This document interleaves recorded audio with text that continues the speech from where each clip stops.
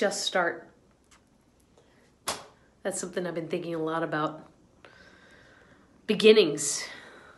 Um, looking at it a lot in my Zen practice right now, but also with the guitar. I used to have the story that beginnings are easy for me. Um, starting things is fun, simple. I just like jumping into things. But as I looked at that process of beginnings a little closer, I realized that's actually not always true. Writing a new song, the start of that is not always the easiest for me. Um, learning a, a song on the guitar that, you know, is somewhat daunting, not easy. I procrastinate and have a lot of resistance around that. Or perhaps taking a song I know and putting it through all 12 keys, a lot of resistance to that. So, this idea of starting and just starting, like diving in, taking the first step. You know, the voice in our head, the voice in my head, the one uh, that tries to narrate my whole experience for me and um, thinks it knows how everything's going to unfold. Yeah, that voice, um, it thinks it knows, it seems to know a lot about how um, starting is going to go.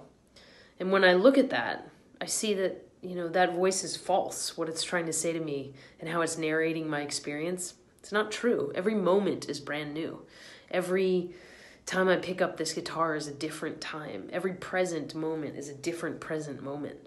And so, whatever that self hating voice in my head is telling me about how it's going to go, especially as I'm getting ready to start, you know, that's just not true. And if instead I come to the start of something with um, this attitude of pure potential, because the beginning of something is the best part of it, you don't know how it's going to unfold. You don't know what's going to happen next.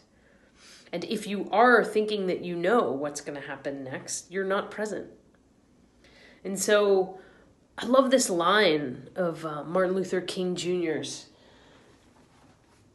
It's take the first step in faith. You don't have to see the whole staircase. Just take the first step. I've been using that to uh, help me take the first step. I don't need to see the whole staircase.